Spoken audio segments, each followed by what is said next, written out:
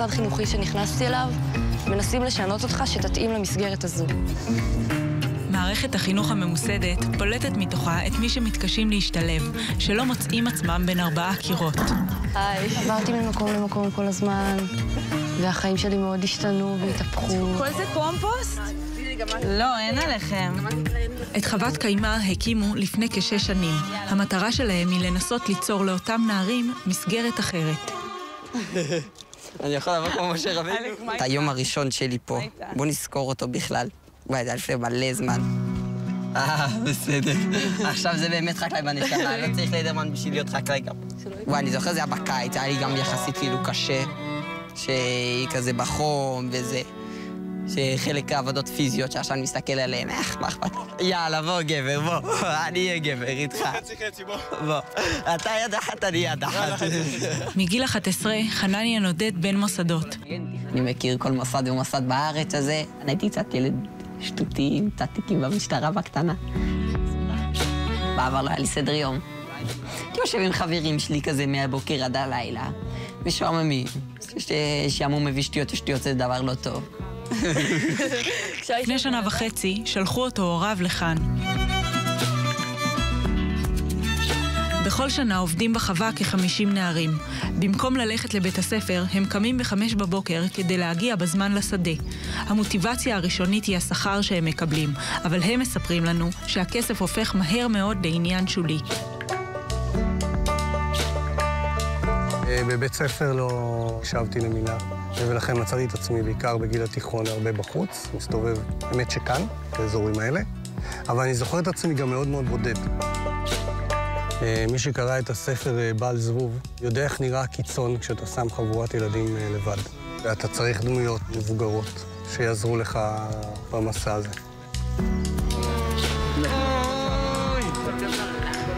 אוי! קומטק שלי. קומטוק שלי. עירית שלי, יפה שלי, עיניים שלי, נשמה שלי. כל פעם שקשה לי בחיים אני בא מדבר איתו. אני למדתי עבודה סוציאלית, אז שם אני מגיע, אבל לא הייתי, אני לא מרגיש שאני, שזה העבודה שלי כאן. זה מאוד שונה כאן, כאילו, אנחנו... פחות משנה הטייטל. לא עובדים בשיטה הזאת. איך הם קראו לי? לוכד חלומות. כמו של הטבעונים עם הסערות וצ'כי. אני לוכד חלומות, כאילו, אני רואה בן אדם, אני אומר, מה החלום שלך? KTM. למשל. אה, גרפים בטלוויזיה? בטח, אם לא, מה אתה שווה? סימן שאתה לא חקלאי. זה דבר אחד שמקובל פה, אני בבית, אני דופק רפס, חובטים בי קשות. פה לא. פה זה מקובל. פה חובטים בו על דברים אחרים.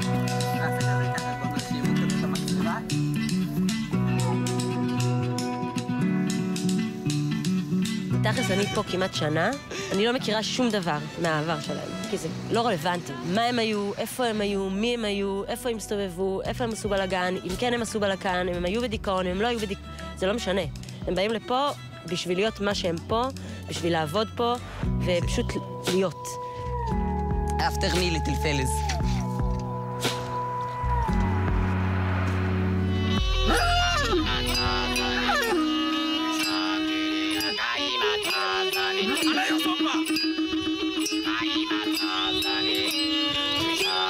יוני בנה מודל חינוכי שמיושם בארבע חוות ברחבי הארץ, ובזמן האחרון גם יצא מגבולות המדינה. רוב מי שמגיע לפה, זה כבר נתונים של שש שנים, מעל 80 אחוז ייכנסו לאיזושהי מסגרת לימודים. אלה מדדים שחשובים מאוד לכל המתבונן מבחוץ. אנחנו לא דוחפים אף אחד לשם, אבל בינתיים יש חבר'ה שזקוקים לנו, כי, כי אין לנו יכולת לקלוט את כולם. ויש לכם איזושהי תמיכה מהמדינה? נקודה, נוגעת פה בנקודה רגישה. יש כמה גופים שתומכים באופן זמני, וזה בערך 5-10 אחוז מהתקציב שלנו, וזה זמני.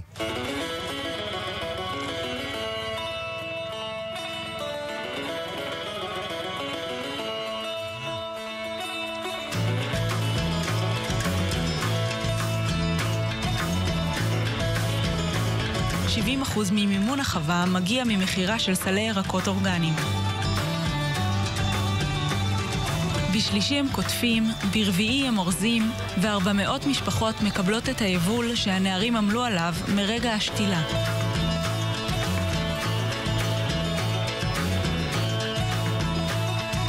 אנחנו לא בית ספר, אנחנו לא מפתן, מה אנחנו? זה משהו חדש לחלוטין, זה כנראה מאוד קשה ליצור איזושהי אה, בירוקרטיה חדשה. כל העו"סים וזה, כל היום היו כזה לוקחים אותי לוועדות וזה, ובחיים בסופו של דבר לא מקשיב לילד עצמו. הולכים, תוקעים אותו, חושבים אני איזה דיסלקט מטומטם כזה. טוב, תלך לפנימייה הזאת, תלך לבית ספר הזה. לא היו מקשיבים לו כלום. וכאילו, בשבילם כזה סבבה, רואים עוד נער כזה, יאללה, נסיים את התיק הזה, יאללה, שיעוף לנו מהעיניים, ויאללה, נער הבא. כל מוסד חינוכי שנכנסתי אליו, מנסים לשנות אותך שתתאים למסגרת הזו. צורת לבוש, צורת התנהגות, צורת דיבור, צורת מחשבה, הכל. ופה אתה, אתה יכול באמת להיות מי שאתה. כאילו, יש פה חיבור מטורף בין אנשים כל כך שונים.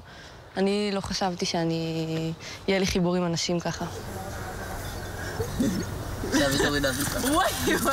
אחר הצהריים, כשהם מסיימים לעבוד בשדות, עולים כולם לבית האריזה, שהופך להם לבית שני.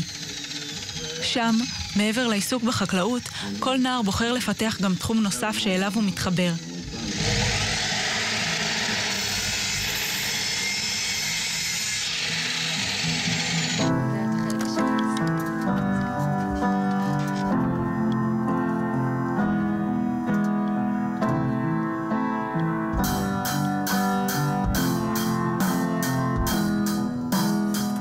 הייתי יותר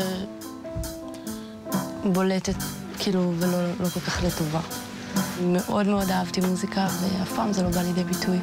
גם בגלל שעברתי ממקום למקום כל הזמן, והחיים שלי מאוד השתנו והתהפכו, וזהו, אז אף פעם לא התרכזתי בזה, אף פעם לא נתתי לזה מקום כל כך. ועכשיו כשאני נמצאת במקום יותר קבוע ו... ויותר מסודרת ומבוססת, אז אני יותר יכולה להתעסק במוזיקה.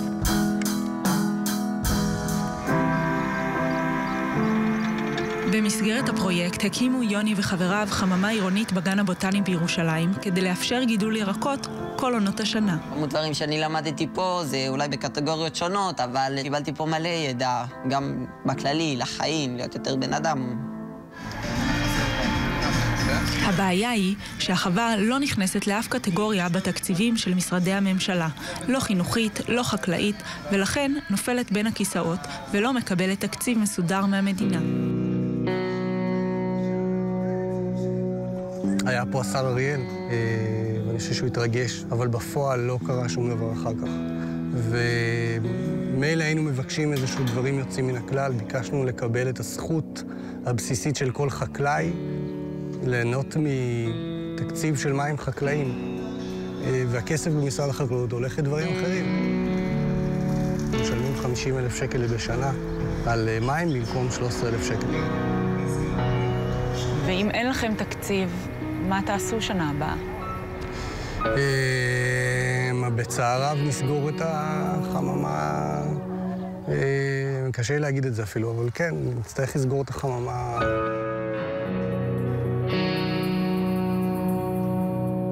יש כאן ערך מוסף הרבה יותר גדול מלגדל אה, חסות ולהוציא אותם ללקוחות. יש פה אנשים שבעיניי זה מציל להם את החיים. אה, ולכן חשוב לעשות הכל כדי שהחיים האלה ימשיכו להינצל. והכסף הזה, שחסר כדי להציל את החממה, מסתתר במקומות מקוממים במיוחד. רוב החבר'ה שאצלי, ולפעמים שלוש-ארבע שנים לא היו בבית ספר, כשאני לוקח את תעודת הזהות שלהם ובודק האם הם רשומים באיזושהי מסגרת, אני מגלה שהם רשומים בבתי ספר. זאת אומרת, יש בתי ספר שבאופן פלילי אה, ממשיכים לקבל את הסכומים שלהם שנעים בין 25,000 שקלים ל-35,000 שקלים בשנה, בעוד הילדים בכלל לא בבית ספר. כשמסתכלים על המספרים, הסדרת הרישום של שני ילדים כאלה, בתיאוריה, יכולה לפנות תקציב לטובת החממה. וכמו המשפחה שלי פה כולם, כמו אחים ואחיות. ו... וזהו, זה ממלא לי קצת את החוסר הזה.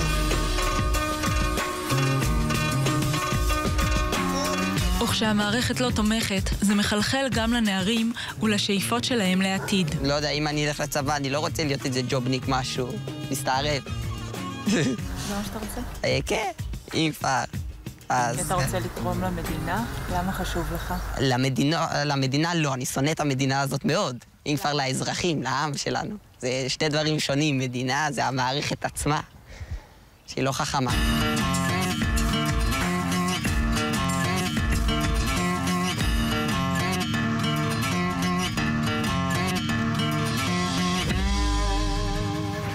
וזו תגובת משרד החקלאות. לנוכח הקיצוץ של רשות המים, נאלץ המשרד לקצץ את ההקצאות לחקלאים פעילים ולהמליץ על הקצאות חדשות רק למגדלים בעלי חיים.